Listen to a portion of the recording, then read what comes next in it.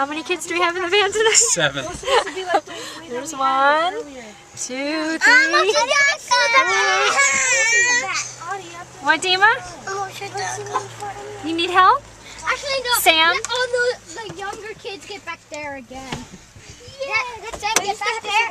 Ow! I got the keys. get up here. Oh, yeah, kids. No, he has to stay back here. If, uh, whoever's in the, their spot, they have to stay.